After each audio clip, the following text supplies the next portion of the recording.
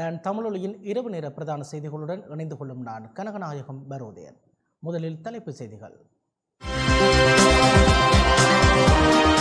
இந்தியாவில் உள்ள இலங்கை அகதிகளும் எதிர்கால தேர்தல்களில் வாக்களிப்பது தொடர்பில் பரிசீலிக்க முடிவு செய்தது தேர்தல்கள் ஆணைக்குழு. ஒமிக்ரோன் தொற்றை கட்டுப்படுத்த அனைத்து நடவடிக்கைகளும் தயார் நிலையில் உள்ளதாக ராணுவ தளபதி ஷவேந்திர சில்வா அறிவிப்பு. கிளிநொச்சியில் மர்ம பொருள் வெடித்து சிதறியதில் இளைஞர் ஒருவர் உயிரிழந்துள்ளார். யாழ் நெடுந்தூர பேருந்து நிலைய விவகாரம். ஆளுநரின் அழுத்தத்திற்கும் பணிய மறுத்தது இலங்கை போக்குவரத்து சபை.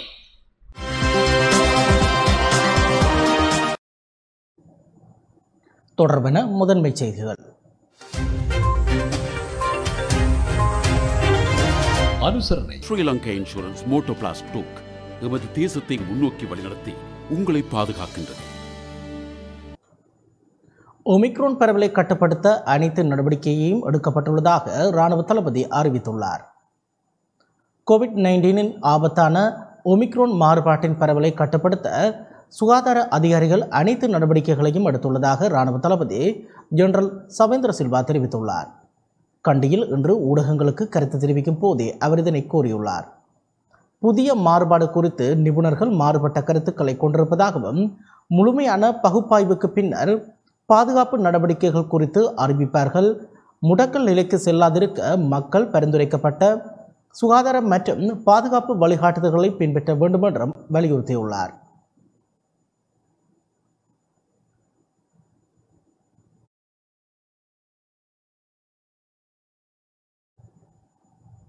இந்தியாவில் உள்ள இலங்கை அகதிகள் வாக்களிக்க கோரினால் அது தொடர்பில் பரிசீலிக்கப்படும் என தேர்தல்கள் ஆணைக்குழு அறிவித்துள்ளது. இந்தியாவில் உள்ள இலங்கை அகதிகள் தேர்தல்களின் போது வாக்களிக்க கோருவார்களேயானால் அது பரிசீலனைக்கு எடுத்துக்கொள்ளப்படும் என தேர்தல்கள் ஆணைக்குழு அறிவித்துள்ளது. யாழ்ப்பாணம் மாவட்ட செயலகத்தில் இடம்பெற்ற ஊடக சந்திப்பின் போதே தேர்தல்கள் ஆணைக்குழுவின் உறுப்பினர்கள் இவ்வாறு தெரிவித்துள்ளனர். அத்தோடு இதுவரை இந்தியாவில் உள்ள இலங்கை அகதிகள் வாக்களிப்பது தொடர்பில் எந்தவிதமான கோரிக்கைகளும் முன்வைக்கப்படவில்லை என்றும் அரசியல்வாதிகளும் அது தொடர்பில் கரிசனை கொள்ளவில்லை என்றும் தேர்தல்கள் ஆணைக்குழுவின் தலைவர் சுட்டிக்காட்டியுள்ளார். மாகாண சபை தேர்தல் என்பது நடத்தப்படாமல் இருப்பது தொடர்பில் ஊடக சந்திப்பில் எழுப்பப்பட்ட கேள்விக்கு புதிய முறையிலோ பழைய முறைமையிலோ அல்லது திருத்தங்கள் செய்யப்பட்டோ விரைவாக நடாத்தப்பட வேண்டும் என்பதே தேர்தல்கள் ஆணைக்குழுவின் நிலைப்பாடு என்றும்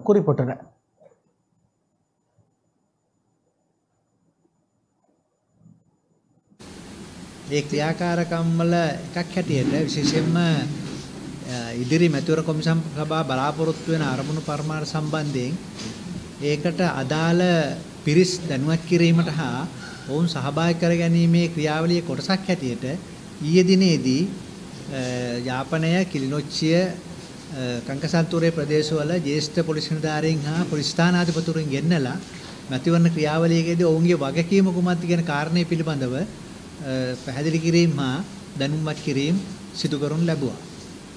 අද දිනේදී අ, ඒ සමගම මේ මැතිවරණයකදී අත්‍යවශ්‍යම කොටසක් වන වෙනත් අ, සිවිල් සංවිධාන මොකද මැතිවරණ ක්‍රියාවලියේදී මැතිවරණ කොමිසම හුදකලාව මැතිවරණයක් කරන්න බෑ. ඒකෙදී රාජ්‍ය නිලධාරීන් වගේම සිවිල් සංවිධාන, නිරීක්ෂණ සංවිධාන, මාධ්‍ය මේ සියලු දෙනාගෙම සාමූහික ප්‍රයත්නයක් තමයි මේ මැතිවරණයක් කියන එකක් ඇරෙලා කොමිසම සභාව සලකන්නේ.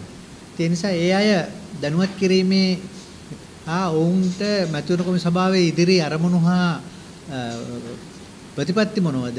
ඒව ක්‍රියාත්මක කරන්න දැනට ක්‍රියා කරගෙන යන ආකාරය පිළිබඳව දැනුවත් කරන්නත් ඔවුන් ඒ සඳහා සහභාගී ඉදිරිපත් කරා. මොකද ඒ කාරක සභාවේ සියලුම පක්ෂ නියෝජනය වෙනවා. සිංහල දෙමළ මුස්ලිම් සියලුම ආණ්ඩු පක්ෂ විරුද්ධ පක්ෂ සියලු දෙනාම නියෝජනය யாழ்ப்பாணம் மாவட்ட செயலகத்தில் வாக்குரிமை ஒளிப்பூட்டல்களை மக்கள் மத்தியில் மேற்கொள்வதற்கான இரண்டாயிரத்தி இருபத்தி ரெண்டு இரண்டாயிரத்தி இருபத்தி ஐந்து வரையான காலப்பகுதிக்கான மூலோபாய திட்டத்தை தயாரிப்பதற்கான ஆலோசனைகளை பெற்றுக்கொள்ளும் வகையில் அரச அலுவலர்கள் அரசியல் கட்சி பிரதிநிதிகள் மற்றும் பொது அமைப்புகளின் பிரதிநிதிகளுடனான கலந்துரையாடல் இன்று இடம்பெற்றது.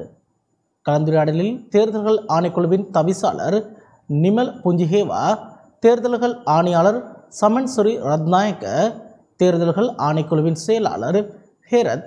தேர்தல்கள் ஆணைக்குழுவின் உறுப்பினர்களான முகமட் பத்திரன திவாரட்ன யாழ்ப்பாணம் மாவட்ட அரசாங்க அதிபர் கணபதி புள்ளி மகேசன் யாழ் மாவட்ட பிரதி தேர்தல்கள் ஆணையாளர் அமல்ராஜ் ஆகியோர் இந்த சந்திப்பில் கலந்து கொண்டனர். கிளிநொச்சியில் மர்ம பொருள் வெடித்ததில் ஒருவர் உயிரிழந்துள்ளார். கிளிநொச்சி உமையாள்புரம் சோலை நகர் பகுதியில் மர்மப்பொருள் ஒன்றை பரிசோதித்த போது அது வெடித்ததில் சம்பவ இடத்திலேயே ஒருவர் உயிரிழந்துள்ளார். இந்த சம்பவத்தில் பதிமூன்று வயதுடைய சிறுவன் ஒருவன் படுகாயமடைந்த நிலையில் கிளிநொச்சி வைத்தியசாலையில் அனுமதிக்கப்பட்டுள்ளார். கிளிநொச்சி உமையாள்புரம் சோலை நகர் பகுதியில் இன்று பிற்பகல் மூன்று முப்பது மணியளவில் மர்ம பொருள் ஒன்றை கிரைண்டர் ஒன்றினால் வெட்ட முனைந்த போதே மர்ம பொருள் வெடித்து சிதறியுள்ளது. சம்பவத்தில் இருபத்தைந்து வயதுடைய சிவலிங்கம் யுவராஜ் எனும் நபரே சம்பவ இடத்தில் உயிரிழந்தவராவர். வெடிப்பு சம்பவம் தொடர்பில் போலீசார் விசாரணைகளை முன்னெடுத்த போது வெடிப்பு சம்பவம் இடம்பெற்ற வீட்டு சூழலில் ஆபத்தான வெடிப்பொருட்கள் மீட்கப்பட்டுள்ளன. சம்பவம் தொடர்பில் கிளிநொச்சி போலீசார் மேலதிக விசாரணைகளை முன்னெடுத்து வருகின்றனர்.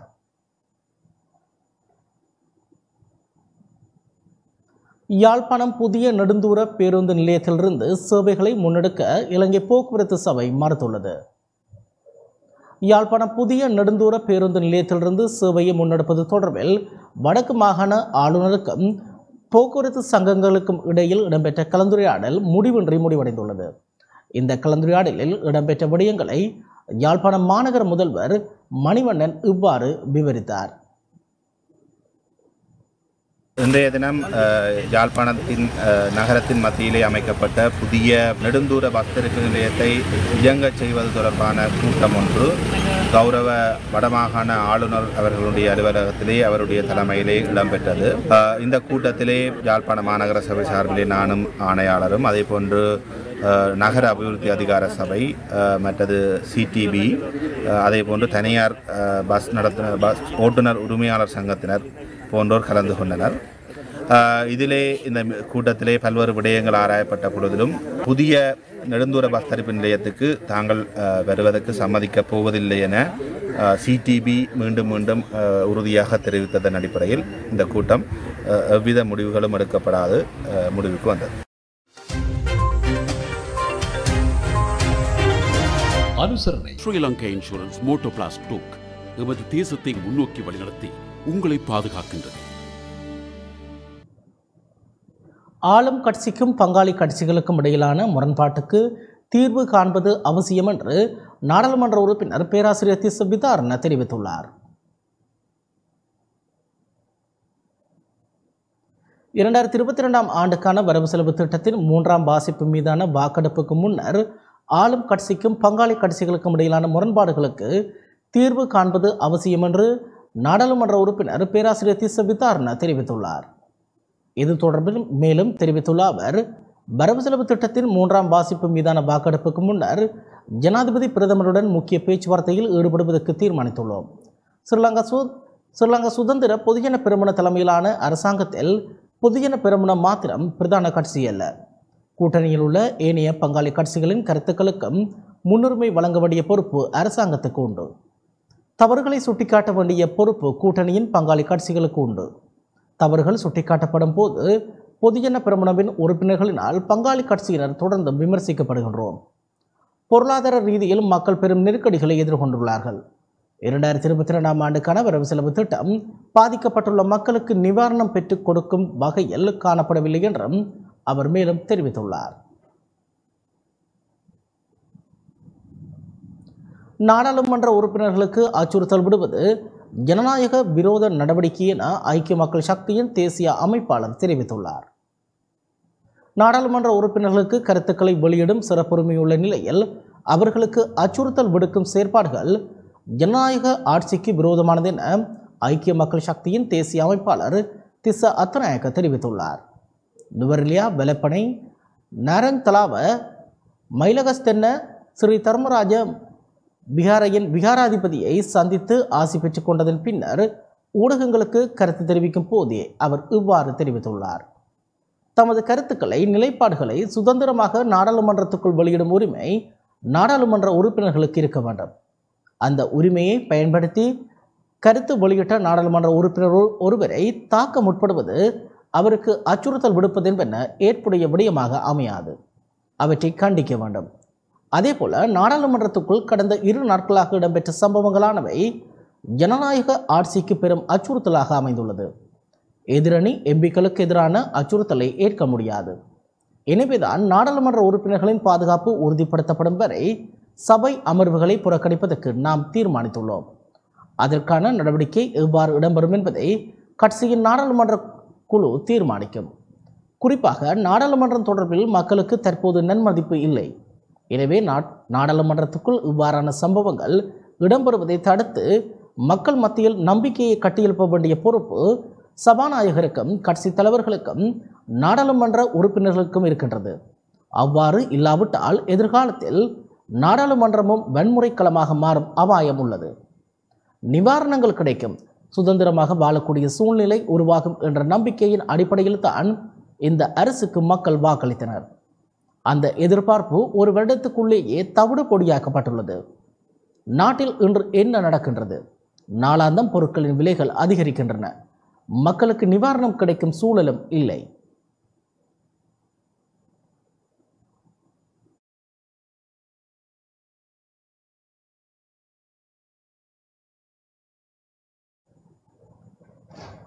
அரசாங்கத்தை விரட்டியடிக்க மக்கள் தயாராகிவிட்டதாக நாடாளுமன்ற உறுப்பினர் பிஜித்த தெரிவித்துள்ளார். தற்போதைய அரசாங்கத்தை விரட்டியடித்து நாட்டை கட்டியெழுப்புவதற்கு மக்கள் தயாராகிவிட்டனர் என மக்கள் விடுதலை முன்னணியின் நாடாளுமன்ற உறுப்பினர் பிஜித தெரிவித்துள்ளார். மக்கள் விடுதலை முன்னணியின் ஊரில் இருந்து தொடங்குவோம் என்ற துணைப்பொருளான மக்களுடனான உரையாடலும் துண்டு பிரசுர விநியோகமும் நுவர்லியா ஹெட்டனில் இடம்பெற்ற நிலையில் ஊடகங்களுக்கு கருத்து தெரிவிக்கும் போதே அவர் இவ்வாறு குறிப்பிட்டுள்ளார். நாட்டில் தற்போது எரிவாயு அடுப்புகள் வெடித்து சிதறி வருகின்றன. இதற்கான காரணங்களை கண்டறிந்து தடுப்பதற்கான நடவடிக்கைகளை மேற்கொள்வதில் அரசு துரிதம் காட்டவில்லை. மாறாக எரிவாயு அடுப்பு வெடிப்புக்கும் எரிவாயு சிலிண்டருக்கும் இடையில் எந்தவித தொடர்பும் இல்லை என ஆளுங்கட்சி உறுப்பினர்கள் சிலர் கருத்து வெளியிட்டு வருகின்றனர். தனது இயலாமையையும் பலவீனத்தையும் மறைப்பதற்காகவே இப்படியான கருத்துக்களை முன்வைத்து வருகின்றனர். நாட்டில் ஏற்பட்ட மின் விநியோக துண்டிப்புக்கும் இதே பாணியில் தான் முட்டாள்தனமான கருத்துக்களை முன்வைத்து வருகின்றனர். கேஸ் சிலிண்டர்களின் உள்ளடக்கத்தில் மாற்றம் செய்யப்பட்டுள்ளதாலேயே வெடிப்பு சம்பவங்கள் இடம்பெற்று வருகின்றன. சமையலறைக்கு சமைக்க செல்லும் பெண்களுக்கு இன்று உயிருக்கு உத்தரவாதம் இல்லை.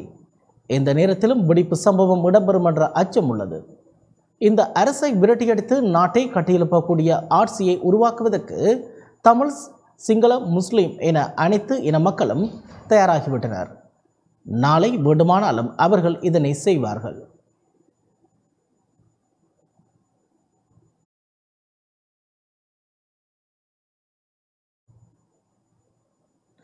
ஒமிக்ரோனால் கட்டுப்பாடுகள் மீண்டும் விதிக்கப்படலாம் என ஜனாதிபதி கோட்டாபய ராஜபக்ஷ தெரிவித்துள்ளார்.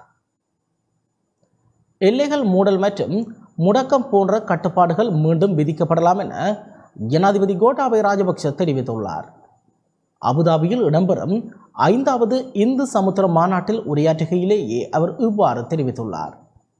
ஒமிக்ரோனால் ஏற்பட்டுள்ள புதிய ஆபத்து குறித்து சுட்டிக்காட்டியுள்ள ஜனாதிபதி வறிய நாடுகளின் தடுப்பூசி செலுத்தும் நடவடிக்கைகளுக்கு செல்வந்த நாடுகள் வலுவான விதத்தில் உதவ வேண்டும் எனவும் வேண்டுகோள் விடுத்துள்ளார். இந்தியா சீனா அமெரிக்கா ஜப்பான் ஆகிய நாடுகளின் தாராள மனப்பான்மையை பாராட்டுவதாகவும் இந்த நாடுகள் நேரடியாகவோ அல்லது கோவெக்ஸ் திட்டத்தின் மூலமாகவோ கொரோனா வைரஸ் தடுப்பூசிகளை வழங்கியுள்ளன என ஜனாதிபதி தெரிவித்துள்ளார். அதேவேளை உலகின் ஏனைய பகுதியில் மிகவும் குறைந்தளவு தடுப்பூசிகள் செலுத்தப்பட்டதனால் பேராபத்தை ஏற்படுத்தக்கூடிய புதிய வைரஸ் உருவாகியுள்ளது என்றும் இதனை உன்னிப்பாக அவதானிக்க வேண்டும் எனவும் ஜனாதிபதி தெரிவித்துள்ளார்.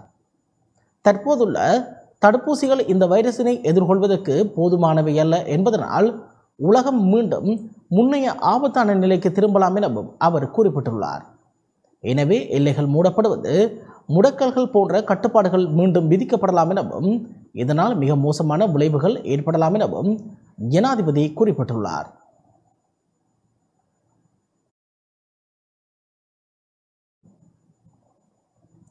பொதுபல சேனா அமைப்பின் பொதுச் செயலாளரும் ஒரே நாடு ஒரே சட்டம் ஜனாதிபதி செயலணியின் தலைவருமான ஞானசார தேரர் கல்முனை பகுதிக்கு விஜயம் செய்துள்ளார். பொதுபல சேனா அமைப்பின் பொதுச் செயலாளரும் ஒரே நாடு ஒரே சட்டம் ஜனாதிபதி செயலணியின் தலைவருமான கலகுட அத்தே ஞானசார தேரர் நேற்றிரவு கல்முனை பகுதிக்கு விஜயம் மேற்கொண்டார். ஒரே நாடு ஒரே சட்டம் ஜனாதிபதி செயலணியின் மக்கள் கருத்தறியும் செயலமர்வுகள் கிழக்கு மாகாணம் திருவோணமலை மட்டக்களப்பு மாவட்டத்தில் இடம்பெற்ற நிலையில் நேற்று மாலை கலகுட அத்தே ஞானசார தேர் தலைமையிலான குழுவினர் கல்முனை பகுதிகளுக்கு விஜயம் மேற்கொண்டனர். இதன்போது கல்முனை தருசபா நிறுவனத்தின் அழைப்பை ஏற்று வருகை தந்த செயலணியினர் அங்கு ஏற்பாடு செய்யப்பட்டிருந்த கல்முனை முக்கியஸ்தரருடனான கலந்துரையாடலில் கலந்து கொண்டார் இதன்போது கல்முனை வர்த்தக சங்க பிரதிநிதிகள் உட்பட சமூக சேவை நிறுவனங்களின் பிரதிநிதிகளும் கலந்து கொண்டனர். இதன்போது கல்முனையின் சமகால தேவைகள் பற்றிய மகரு மகஜரொன்றும் கையளிக்கப்பட்டதுடன் நினைவு சின்னமும் வழங்கி கௌரவிக்கப்பட்டது. எனினும் அங்கு ஊடகங்களுக்கு செய்தி சேகரிக்க அனுமதி மறுக்கப்பட்டிருந்தது. பின்னர் அங்கிருந்து வெளியேறிய ஞானசார தேரரை இடைமறித்து ஊடகவியலாளர்கள் விஜயத்தின் நோக்கம் தொடர்பில் வினவினர். இதன்போது ஊடகங்கள் மக்களிடம் உண்மையான விடயங்களை அறிக்கையிட வேண்டும் எனவும் தவறான தவ தகவல்களை பரப்பி சமூக நல்லிணக்கத்தை சீர்குலைக்க வேண்டாம் எனவும் கேட்டுக்கொண்டார்.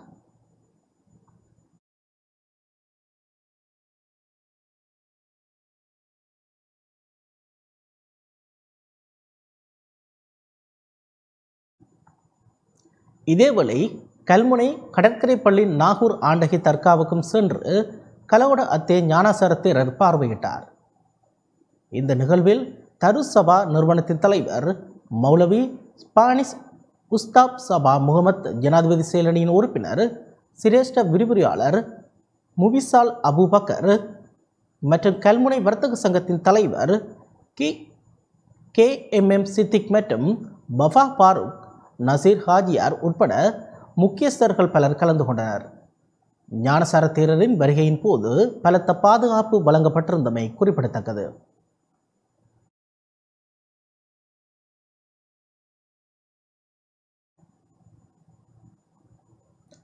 ஒரே நாடு ஒரே சட்டம் ஜனாதிபதி செயலணியினர் மட்டக்களப்புக்கு விஜயம் செய்து பல்வேறு சந்திப்புகளை நடத்தியுள்ளனர். ஒரே நாடு ஒரே சட்டம் ஜனாதிபதி செயலணியின் பரிந்துரை தொடர்பாக பொதுமக்களின் கருத்துக்களை பெற்றுக்கொள்ளும் வகையில் ஒரே நாடு ஒரே சட்டம் ஜனாதிபதி செயலணியின் பரிந்துரை குழுவின் தலைவர் கலகுட அத்தே ஞானசார தேரர் மட்டக்களப்பு மாவட்டத்துக்கு நேற்று விஜயம் ஒன்றை மேற்கொண்டிருந்தார். மட்டக்களப்பு மாவட்டத்துக்கு விஜயத்தை மேற்கொண்டுள்ள கலகுட அத்தே ஞானசார தேரர் மக்களின் சந்திப்பை தொடர்ந்து ஊடகங்களுக்கு இவ்வாறான கருத்தினை வெளியிட்டிருந்தார். விசேட விதமாக ஜனாதிபதியினால் ஸ்தாபிக்கப்பட்டுள்ள ஒரே நாடு ஒரே சட்டம். ஜனாதிபதி செயலணியின் பரிந்துரை குழு உறுப்பினர்களுடனான விஜயம் ஒன்றை மட்டக்களப்பு மாவட்டத்துக்கும் மேற்கொண்டுள்ளோம். இதற்கு முன்னதாக வடமாகாணத்துக்கான விஜயத்தினை மேற்கொண்டு அனைத்து மாவட்டத்துக்கான விஜயத்தினை மேற்கொண்டு கள ஆய்வுகளை மேற்கொண்டிருந்தோம். அதன்போது அந்த மாவட்டங்களில் வாழ்கின்ற மக்களின் பிரச்சனைகள் முரண்பாடுகள் அனைத்து விடயங்களும் கேட்டறியக்கூடியதாக இருந்தது. இதன்போது அனைத்து மாவட்டங்களிலும் ஆராயக்கூடிய ஆராயக்கூடியதாக இருந்த விடயமானது இன்று மட்டக்களப்பு பிரதேச செயலகங்களில் இடம்பெற்ற விடயங்கள் போன்று இந்நாட்டு அரச அதிகாரிகளின் செயற்பாடுகள் காரணமாக மக்கள் அடைந்துள்ள விரக்தியினால் எவ்வாறானது என எங்களால் அறிய அறியக்கூடியதாக இருந்தது. இந்த மட்டக்களப்பு விஜயத்தின் போது அதேபோன்று விசேட யோசனைகளை முன்வைக்கப்பட்டது. யுத்தத்துக்கு பின்னர் சிங்களவர்களாக இருக்கலாம் தமிழர்களாக இருக்கலாம் இஸ்லாமியர்களாக இருக்கலாம் அவை இன அது அது மூழ்குடியேற்றமாக இருக்கலாம். அதே போன்று அவர்களின் பிரதான தேவைப்பாடுகளாக இருக்கலாம். அவைகளை பூர்த்தி செய்து கொள்வதாக வருகையின் அரசியலினால் வழங்கப்பட்டுள்ள கோட்பாடுகளை அலட்சியப்படுத்தும் வகையில் மிக கீழ்த்தரமாக அதை விரிவாக கூறுவதாக இருந்தால் குலவாதியாக இனவாதியாக மதவாதியாக செயற்படுகின்ற அதிகாரிகளின் இரும்பு பாதனைகளுக்குள் மிதிபடுகின்ற மக்களின் கண்ணீருடனான கதைகளை இன்று நாம் கேட்டோம். இதன் காரணமாக இங்கு ஆலோசனைகள் பெறப்பட்டது. இவ்வாறான செயற்பாடுகளில் ஈடுபடுகின்ற கிராம சேவை உத்தியோகத்தர் முதல் பிரதேச செயலாளர் வரை அதாவது அனைவரும் இங்கு இல்லை. அனைவரும் இங்கு குறிப்பிட்டவர்களின் செயற்பாடுகளை ஆராய்வதற்கான மேலும் ஒரு ஜனாதிபதி செயலணி குழு நியமிக்கப்பட வேண்டும் என கூறப்பட்டது. அது அவ்வாறு செயற்படுத்த வேண்டும் என ஜனாதிபதிக்கு வேண்டுகோள் விடுக்க வேண்டும். அதற்கான காரணம் பிரச்சனைகளை தீர்வினை பெற்றுத்தரக்கூடிய அரச கட்டமைப்புகளின் பயன்படுத்தப்படுகின்ற அலுவல் அலுவலகங்களில் மக்களின் சேவைகளை செய்ய மறுக்கும் பட்சத்தில் மக்கள் யாரிடம் முறையிடுவது? எனவே இது தொடர்பாக நாங்கள் இன்று பெற்றுக்கொண்ட விடயங்கள் ஆலோசனைகளாக பரிந்துரை செய்யப்பட்டு இதனை எதுவித இனபேதமின்றி ஒன்றுபட்டு ஒரு இனமாக கட்டியெழுப்பும் விடயத்துக்குள் நாங்கள் பெற்றுக்கொண்ட ஆலோசனைகள் பரிந்துரை குழுவில் இணைத்துக் கொள்ள உள்ளோம். அதேபோன்று இந்த கள விஜயத்தின் ஆய்வுகளின் அடிப்படையில் மக்களின் எதிர்பார்ப்புகளின் அரச திணைக்களங்கள் அரசு திணைக்களங்களாக இருக்கலாம் போலீஸ் திணைக்களமாக இருக்கலாம் மக்களின் சேவையின் தேவைப்பாடுகள் அலட்சியப்படுத்துமானால் இதனை அறியப்படுத்த ஒருவரும் இல்லாத காரணத்தினால் எங்களிடம் முறையிட்டுள்ளனர். இதற்கு நாங்கள் வேதனைப்படுகின்றோம். எனவே இது தொடர்பாக சம்பந்தப்பட்ட திணைக்களங்கள் சம்பந்தப்பட்ட நபர்களிடம் கலந்தாலோசிக்கப்பட்டு உடன் தீர்வினை பெற்றுத்தரும் நடவடிக்கைகளை முன்னெடுப்போம் என தெரிவித்தார். ஒரே நாடு ஒரே சட்டம் ஜனாதிபதி செயலணியின் செயற்பாடு தொடர்பாக வடக்கு கிழக்கு மக்களின் பங்களிப்பு எவ்வாறு அமைந்துள்ளதென ஊடகவியலாளர்கள் எழுப்பிய கேள்விக்கு பதிலளிக்கையில் மக்கள் என்ற ரீதியில் அனைவருக்கும் பிரதான தேவைப்பாடுகள் ஒன்று அது எந்த மதமாக இருக்கலாம் அடிப்படை தேவைப்பாடுகள் ஒன்றே தேவைகளை நிறைவேற்றிக் கொள்வதற்காக அரசியல்வாதிகளிடம் அரசியல்வாதிகளிடம் நாடும் போது மத ரீதியான பிரிவினைவாதத்தால் மனமுடைந்த நிலையில் கடவுளிடம் முறையிடுவது போல் எங்களிடம் முறையிட்டுள்ளனர். எனவே இந்த விஜயத்தின் போது தமிழ் மக்கள் அன்போடு வரவேற்றனர். உண்மையில் எங்களால் நம்ப முடியாத அளவுக்கு எங்களை வரவேற்றனர். உண்மையில் இவர்கள் அரசியல்வாதிகள் ஆளுநர் பாதுகாப்பு அதிகாரிகள் என பலரிடம் கூறப்பட்டு அவைகள் நிறைவேற்றப்படாத காரணத்தினால் எம்மிடம் நம்பிக்கை வைத்து முறையிட்டுள்ளனர். எனவே இவை அனைத்து ஆலோசனைகளும் பெற்று ஒரே நாடு ஒரே சட்டம் ஜனாதிபதி செயலணியின் பரிந்துரையின் கீழ் ஜனாதிபதிக்கு கையளிக்கப்பட்ட ஒரே நாடு ஒரே சட்டம் ரீதியில் அனைவரும் ஒன்றுபட்டு வாழ முயற்சிகளை எடுப்போம் என ஒரே நாடு ஒரே சட்டம் ஜனாதிபதி செயலணியின் பரிந்துரை குழுவின் தலைவர் கலகுட அத்தே ஞானசார தேரர் தெரிவித்துள்ளார்.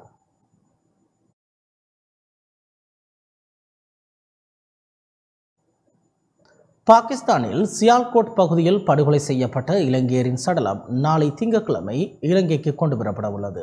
பாகிஸ்தானில் சியால்கோட் பகுதியில் சித்திரவதைக்கு உட்படுத்தப்பட்டு படுகொலை செய்யப்பட்ட இலங்கையரான தியவடனகே தொன் நந்தஸ்ரீ பிரியந்தகுமாரவின் சடலம் நாளை திங்கட்கிழமை ஸ்ரீலங்கன் ஏர்லைன்ஸ் விமான சபையினூடாக இலங்கைக்கு கொண்டுவரப்பட உள்ளதாக வெளிவார அமைச்சு விடுத்துள்ள ஊடக அறிக்கையில் தெரிவித்துள்ளது. பண்டாரநாயக்க சர்வதேச விமான நிலையத்தில் வைத்து அவரது அடுத்த நிலை உறவினர்களிடம் சடலம் கையளிக்கப்பட உள்ளது. இந்த விடயத்தை வெளிநாட்டு அமைச்சு ஒருங்கிணைத்து வருகின்றது. தியவடனகி தொன் நந்தஸ்ரீ பிரியந்த குமாரவின் மரணம் தொடர்பிலான விசாரணை அறிக்கையை வழங்குமாறு இஸ்லாமாபாத்தில் உள்ள இலங்கை உயர்ஸ்தானிகர் ஆலயம் பாகிஸ்தான் வெளிவார அமைச்சிடம் கோரியுள்ளது. இழப்பீடுகளை வழங்குவது தொடர்பில் பாகிஸ்தான் அதிகாரிகள் மற்றும் இறந்தவரின் தொழில் தருணருடன் வெளிநாட்டு அமைச்சின் ஒருங்கிணைப்புடன் இஸ்லாமாபாத்தில் உள்ள இலங்கை ஒஸ்தானிகர் ஆலயம் கலந்துரையாடல்களில் ஈடுபட்டு வருகின்றது என்றும் வெளிநாட்டு அமைச்சு அனுப்பி வைத்துள்ள ஊடக அறிக்கையில் தெரிவிக்கப்பட்டுள்ளது. இந்நிலையில் கொடூரமான முறையில் படுகொலை செய்யப்பட்ட பிரியந்த குமாரவின் வழக்கில் இதுவரை பாகிஸ்தானில் இருநூற்று முப்பத்து ஐந்து பேர் கைது செய்யப்பட்டுள்ளதுடன் தொள்ளாயிரம் நபர்களுக்கு எதிராக குற்றப்பத்திரிகையும் தாக்கல் செய்யப்பட்டுள்ளதாக வெளிநாட்டு ஊடகங்கள் செய்தி வெளியிட்டுள்ளன. இதற்கிடையில் சியால்கோட் போலீசார் தொள்ளாயிரம் சந்தேகத்துக்குரிய சந்தேக நபர்களை கைது செய்வதற்காக நகரம் அருகிலுள்ள கிராமங்கள் உள்ளிட்ட பல இடங்களில் சோதனை நடாத்தி வருகின்றனர். கைது செய்யப்பட்ட இருநூற்று முப்பத்தைந்து பேரில் இரண்டு முக்கிய சந்தேக நபர்களான முகமது தல்ஹா பஹ்ரான் இத்ரிஸ் ஆகியோர் அடங்குவர். பிரியந்த குமாரவின் பிரேத பரசோனி சியால்கோட்டின் அராமா இக்பால் போதனா வைத்தியசாலையில் நிறைவடைந்துள்ளது. பின்னர் பிரியந்த குமாரவின் உடல் ஆம்புலன்ஸ் மூலம் பலத்த பாதுகாப்புடன் லாகூர் வைத்தியசாலைக்கு கொண்டு செல்லப்பட்டதாக துணை தலைமை அமைச்சரவை செயலாளர் சியால்கோட் தாகிர் பாரூக் தெரிவித்தார். சட்ட ரீதியான நடைமுறைகள் முடிந்த பின்னர் பிரியந்த குமாரவின் கொழும்புக்கு அனுப்பி வைக்கவும் நடவடிக்கை எடுக்கப்பட்டுள்ளது. பாகிஸ்தானில் கொடூரமான முறையில் கொலை செய்யப்பட்டுள்ள இலங்கை பிரஜையின் குடும்பத்தாருக்கு இழப்பீட்டை பெற்றுக் கொடுக்க இலங்கைக்கான பாகிஸ்தான் தூதரகம் நடவடிக்கை எடுக்க வேண்டும் என ஐக்கிய மக்கள் சக்தியின் பாராளுமன்ற உறுப்பினர் முஜிபுர் ரஹ்மான் கோரிக்கை விடுத்துள்ளார். எதிர்க்கட்சித் தலைவர் காரியாலயத்தில் இன்று இடம்பெற்ற ஊடகவியலாளர் சந்திப்பின் போதே அவர் இதனை தெரிவித்துள்ளார் පකිස්ථානයේ සියොල් කෝට් නගරයේදී ශ්‍රී ලාංකික අපේ සහෝදරයෙක් අමානුෂික ලෙස පහරදීලා ඔව්ව ඝාතනය කර ඝාතනයට ලක්වෙනවා.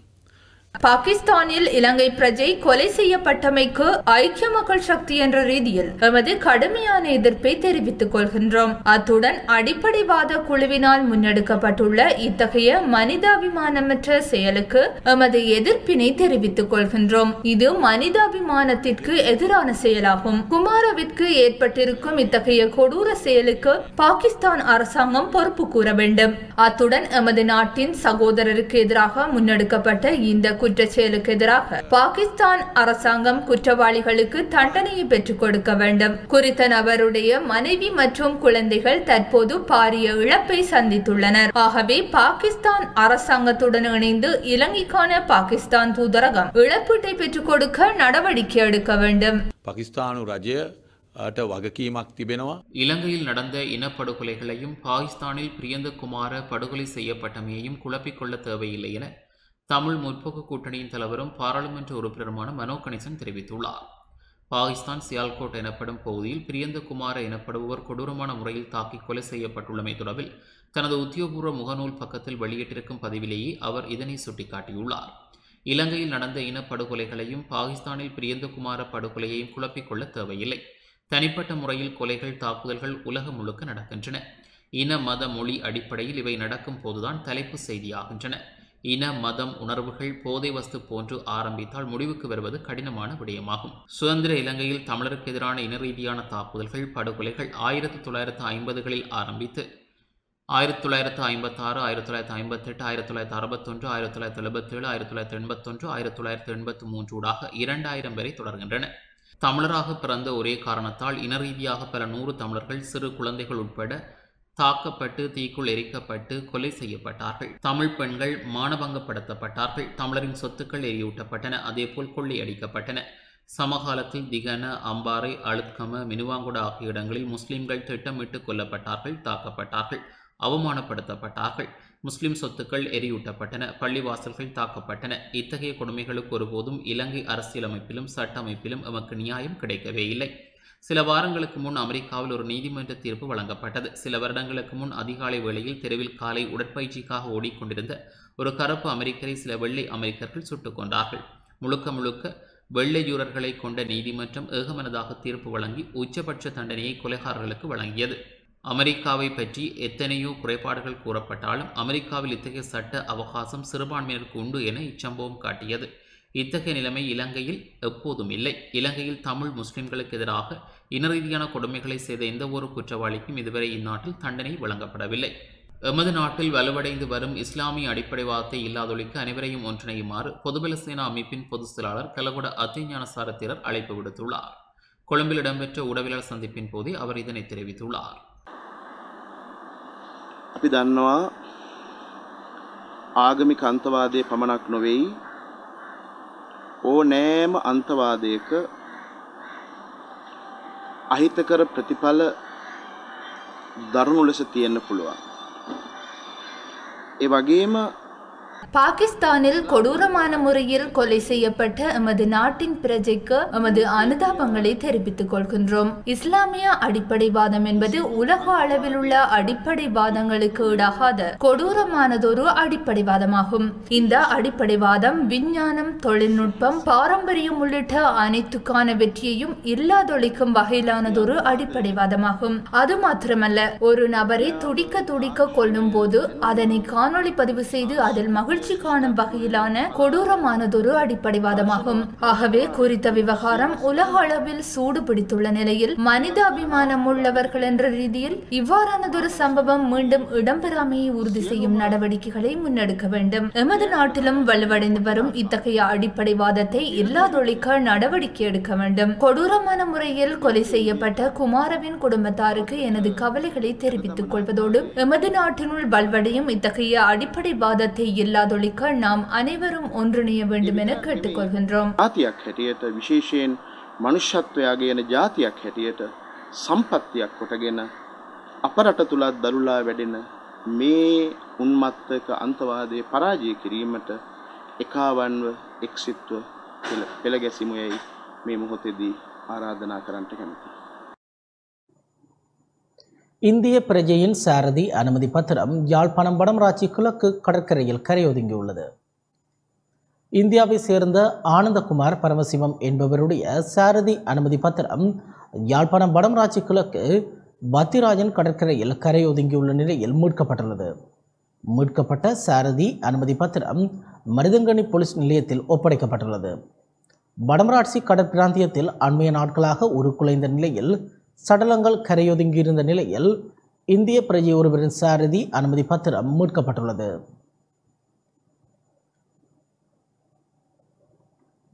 முல்லைத்தீவு கடலில் நீராட சென்ற நபர் சடலமாக மீட்கப்பட்டுள்ளார். வவுனியாவிலிருந்து வருகை தந்து முல்லைத்தீவு கடலில் நீராட சென்ற மூவர் காணாமல் போயிருந்த நிலையில் ஒருவரின் சடலம் மீட்கப்பட்டுள்ளது. காணாமல் போன ஏனையவர்களை தேடும் பணி துரிதமாக முன்னெடுக்கப்பட்டுள்ளது.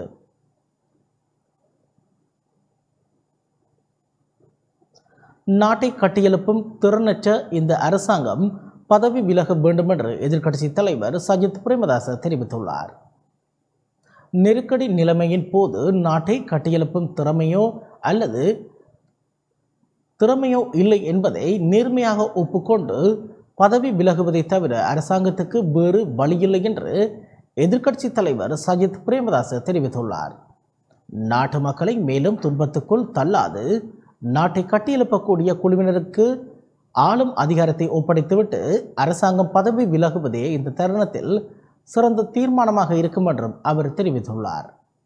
இது தொடர்பில் எதிர்க்கட்சி தலைவர் சஜித் பிரேமதாச வெளியிட்டுள்ள அறிக்கையில் தேசிய பாதுகாப்பை உறுதிப்படுத்துவதாக கூறி ஆட்சிக்கு வந்த இந்த அரசாங்கம் அந்த பாதுகாப்பை உறுதிப்படுத்த தவறியுள்ளது. பாதுகாப்பான முறையில் எரிவாயு சிலிண்டரை கூட நாட்டு மக்களுக்கு பெற்றுக் கொடுக்க முடியாத நிலைமைக்கு இந்த அரசாங்கம் தள்ளப்பட்டுள்ளது. இந்த அரசாங்கம் நாட்டு மக்களின் வாழ்க்கையை சீரழித்துள்ளது. அரசாங்கத்தின் தன்னிச்சையான முடிவுகளினால் நாட்டின் விவசாயத்துறை அதல பாதாளத்துக்கு சென்றுள்ளது. நாட்டில் ஒரு திட்டமிட்ட பஞ்சம் ஏற்படுவதற்கு இந்த அரசாங்கம் வழிவகுத்துள்ளது. அனைத்து அரச ஊழியர்கள் தனியார் துறை ஊழியர்கள் தினக்கூலி தொழிலாளர்கள் உட்பட ஒட்டுமொத்தம் ஒட்டுமொத்த மக்களும் விரக்தி நிலைக்கு தள்ளப்பட்டுள்ளனர். தற்போதைய அரசாங்கம் துரதிருஷ்டவசமான சகாப்தத்தை நாட்டு மக்களுக்கு ஏற்படுத்தி கொடுத்துள்ளது. தற்போதைய நிலையில் நாட்டில் போலியான யுகம் ஒன்று உருவாக்கப்பட்டுள்ளது. மறுபுறத்தில் கொரோனா மரணங்களின் எண்ணிக்கை பதினான்காயிரத்து நானூற்று நாற்பதாக உயர்வடைந்துள்ளது. நாம் ஆரம்பத்திலிருந்து விடுத்து வந்த அனைத்து எச்சரிக்கைகளையும் அரசாங்கம் செவிமடுக்கவில்லை. எனவே தற்போது இந்த அரசாங்கம் ஆபத்தை எதிர்கொண்டுள்ளது என தெரிவிக்கப்பட்டுள்ளது.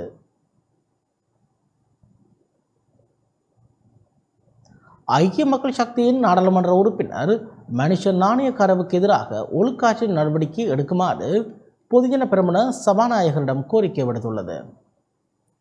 நாடாளுமன்றத்தில் சபாநாயகரை அச்சுறுத்தும் வகையில் செயற்பட்ட ஐக்கிய மக்கள் சக்தியின் நாடாளுமன்ற உறுப்பினர் மனுஷ நாணயக்காரவுக்கு எதிராக ஒழுக்காற்று நடவடிக்கை எடுக்க வேண்டும் என்று ஸ்ரீலங்கா பொதுஜன பிரமணம் வலியுறுத்தியுள்ளது.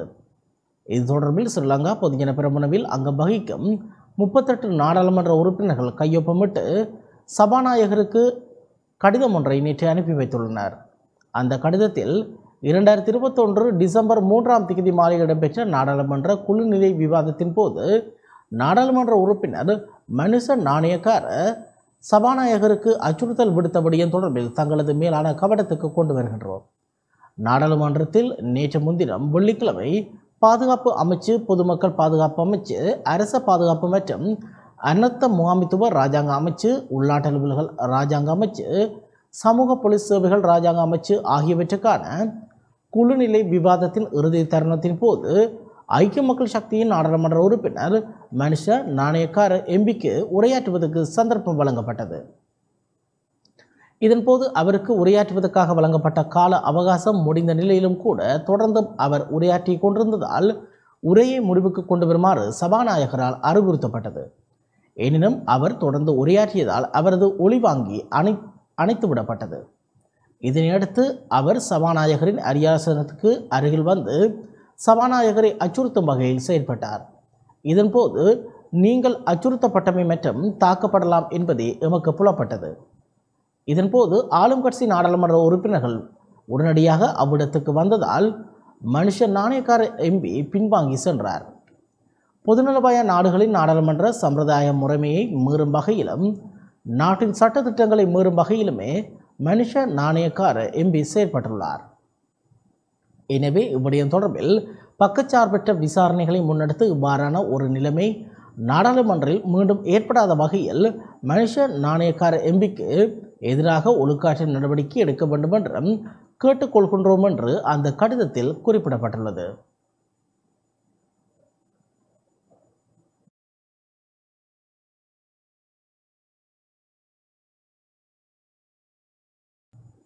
தொடர்வது வர்த்தக வாணிப செய்திகள். டான் டிவியின் டோர் டு டோர் ப்ரொமோஷன் நிகழ்ச்சி இன்று பருத்தித்துறை மற்றும் நெல்லியடி பகுதிகளில் இடம்பெற்றது.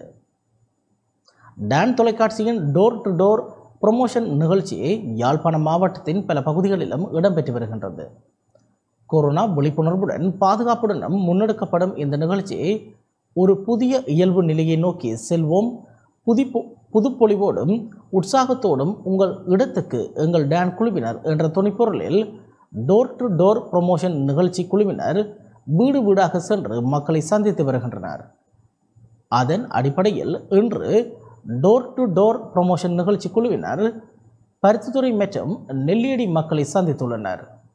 வீடுகளுக்கு சென்று கொரோனா விழிப்புணர்வை ஏற்படுத்தும் முகமாக மக்களுக்கு முகக்கவசம் கிருமி தொற்று நீக்கி திரவம் என்பன வழங்கியதுடன் ஊதுபத்தி சாக்லேட் பிஸ்கட் டீவா சலவை பவுடர் என்பன என்பவற்றையும் டேன்டிவி நிறுவனத்தினர் வழங்கி வைத்தனர்.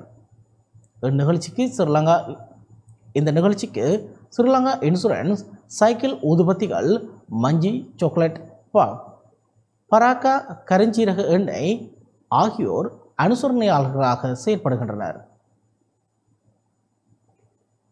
டான்ஸ் செய்தி பார்க்குறாங்க டான்ஸ் செய்திக்காரர் வந்திருக்கிறேன். சாமான்கள் தந்திருக்கிறேன் எங்களுக்கு. அதுக்கு நன்றி. நான் டான் டிவி தான் பார்க்குறேன் நான். நான் பெர்த்தில் இருந்து கதைக்கிறேன். டான் டிவியாக்கள் இன்றைக்கு எங்களுக்கு நிறைய சாமான்கள் வந்திருக்கணும் அதுக்காக அவர்களுக்கு முன்- மிக்க நன்றியை தெரிவித்துக் கொள்கின்றேன். நாங்கள் தாண்டி தான் பார்க்குறோம் நாங்கள். எங்களுக்கு நிறைய சாமான் தந்திருக்கணும் அவைக்கு நாங்கள் தெரிவிக்கிறோம். நன்றி என்று சொல்லி. சாமான் நன்றி தெரிவிக்கிறோம். சன் டிவி தான் பார்க்குறேன். சகல் நிச்சயம் பார்க்குறேன். எனக்கு நியாயமான சாமான் உதவி செஞ்சுருக்கிறாங்க. வீடு தேடி வந்து எங்களுக்கு டேன் டிவிக்காரங்க சாமான் தந்திருக்காங்க. அவருக்கு நாங்கள் நன்றி சொல்கிறோம் நெல்லடியில் இருந்து இப்போ கதைக்கிறேன். டேன் டிவி எங்களுக்கு வந்து இப்போ ஒரு கிஃப்டாக தந்திருக்கிறோம். நெல்லடியில் டேன் டிவியில் நியூஸ் ஒரு முக்கியமான ஒரு உண்மைத்தன்மையான நியூஸில் வரக்கூடிய முன்னேறம் அதை பார்க்கக்கூடிய மாதிரி இருக்கிறது. மற்ற டேன் டிவி நிகழ்ச்சியான அந்த நெட்டிகன் நிகழ்ச்சியும் ஒரு நல்ல நிகழ்ச்சி உண்டு. நியூஸ் ஒரு நல்ல விஷயத்தை கொண்டு வருது எங்களுக்கு. இந்த டான் டிவி வந்து எங்களோட பங்கு பெற்றதுக்கு ரொம்ப நன்றி. டேண்டி வேறு ரெண்டு கிட்ட வந்தவங்க நாங்கள் டெய்லி டேண்டி தான் பார்ப்போம். நியூஸ் ஒன் முக்கியமாக பார்ப்போம். சாமான்கள் தந்துக்கிறாங்க. தேங்க்யூ நன்றி அதுக்கு. நல்லெல்லாம் இருக்கிற நாங்கள். அடிக்கடி நியூஸ் கேட்குற நாங்கள். நல்ல மாதிரி நடத்துறீங்கன்னு எங்களுக்கு நல்லா தெரியும். எங்கள் டான் டிவிக்கார வீடு தேடி வந்திருக்காரு. நல்ல சாமான் தந்திருக்கிறார்கள். நன் நன்றி எங்களுக்கு. நாங்கள் பேப்பர் நியூஸ் மற்ற நியூஸ் எட்டரைக்கு ஒம்பது மணிக்கு எல்லாம் பார்த்துட்டு இருக்கிறாங்க இத்துடன் டான் தமிழொலியின் இரவு நேர பிரதான செய்திகள் நிறைவடைகின்றன. வணக்கம்.